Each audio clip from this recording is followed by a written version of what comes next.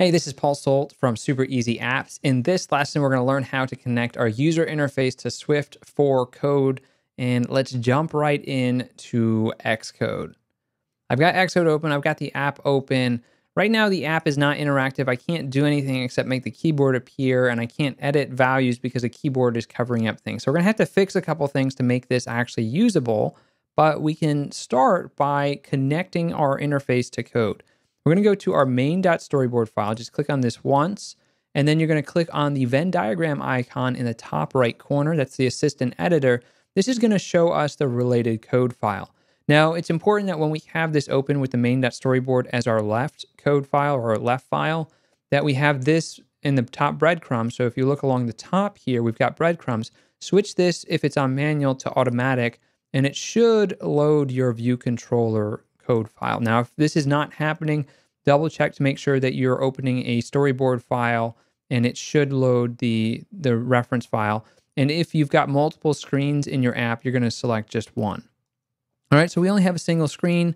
We're going to be able to see both of these. And in order to get some more space, I'm going to hide our left and right panels. You can do the same on your computer, and I can hide the bottom panel. What we want to do is we want to zoom back in and sort of recenter this so that we can see everything that's important. There are a few elements that we want to interact with from the code. We want to modify our tip amounts programmatically. We want to get the user input from this label right here, and we want to respond to user interaction. So we're going to set up each of those individually. There are two types of things that we're going to be inserting. We're going to be inserting IB outlets, and then we're going to insert IB actions. So let's start with the labels. What you do is you right click and drag over into this sidebar, and we're going to set up an outlet for this label. This is going to be our 10% tip label. So that's what I'm going to do is I'm going to use a very verbose name so they know exactly what it is. And I'm going to start with a word.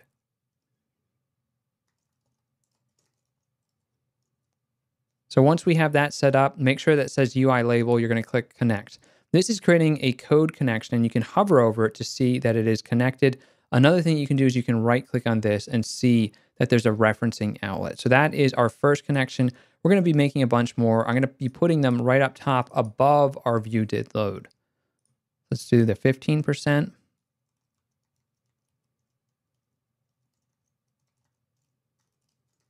And try to get the spelling right. What's really important is that if you do make a spelling mistake, that you keep using that spelling mistake or you correct it early. All right, so we got 15%, and then we'll add one more.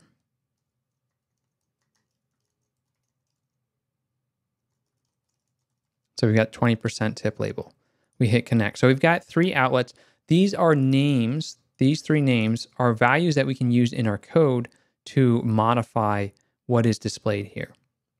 The next thing that we want to do is we want the text field. So this is a UI text field. We're going to right click on that and drag that on over.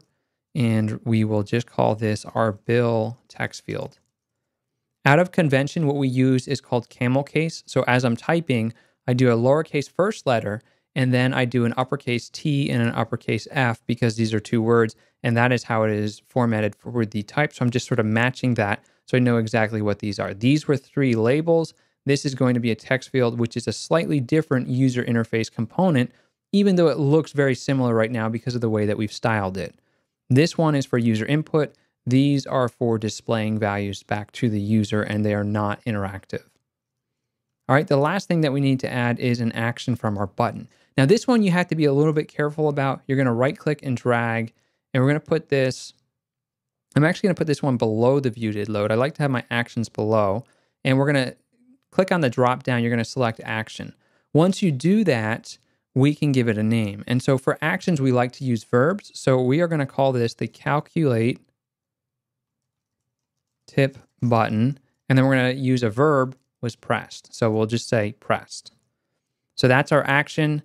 And we can just connect it with the default settings. Now, just make sure that when you do make that connection, that you are doing an action, not an outlet. An outlet is like a name that we can refer to something. That's like, my name is Paul, so you can call me Paul.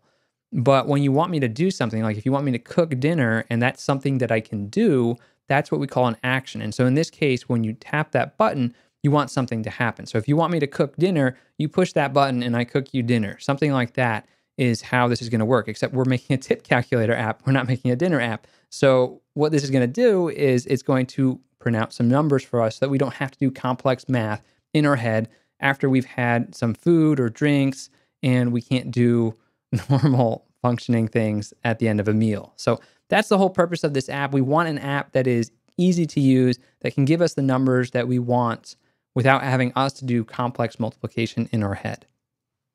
All right, so let's test this button works. And what we do is we can just print a message like we did before, and we'll call it calculate tip.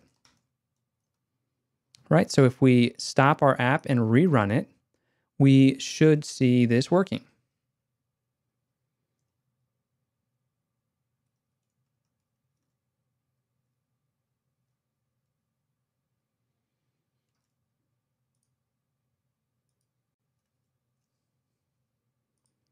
So I started it up and we have the, the app over on the left.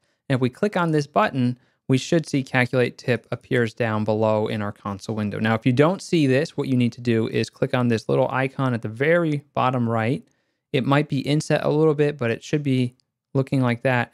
And you should see this message. We can hide our variable view, which is the left side panel, and we can see all of the messages that are appearing. So we see hi Paul and calculate tip we do this again, we can keep seeing additional tips being printed to the screen. So that's how we can get started with connecting our user interface to code. We now have references to these variables in our code so that we can control what's on the screen. So one of the other things that we could do real quick is we could say the bill text field dot text is equal to let's just say free.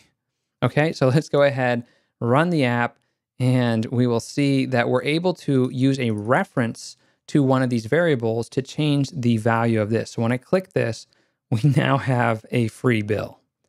In the next video, we're going to get started with our label and working with the keyboard. Right now, the keyboard gets in the way, so we need to figure out how to fix that. I'm going to show you how to get started with fixing the keyboard so it goes away when we press return, because right now we can't even type numbers and get it to disappear. And then the other thing is we can't see a lot of our user interface because the keyboard is covering it up. So we're going to learn how to fix that in an upcoming video. Hey, this is Paul. Real quick before you go, I've got all the source code over here on the right. If you want to download the source code, go to the link that's over on the right or down below. You can grab that code. If you like that, click the like button. Also, before you go, once you go to this site, you'll see a little form. If you fill that out, type your email address in here and click the download now button. That's going to send you an email with all the source code. So just check your email in order to get started. All right, so this has got a lot of design resources from Sketch to PNGs to Xcode projects is going to be very useful. Lastly, click the subscribe button, which is over my head if you want to get updates when I have new videos. I'm going to be posting regular content on a weekly basis. And then last but not least, just like this video if you found any of the topics that I talked about helpful. I'm going to be showing you the next step in the next video. So let's go do that.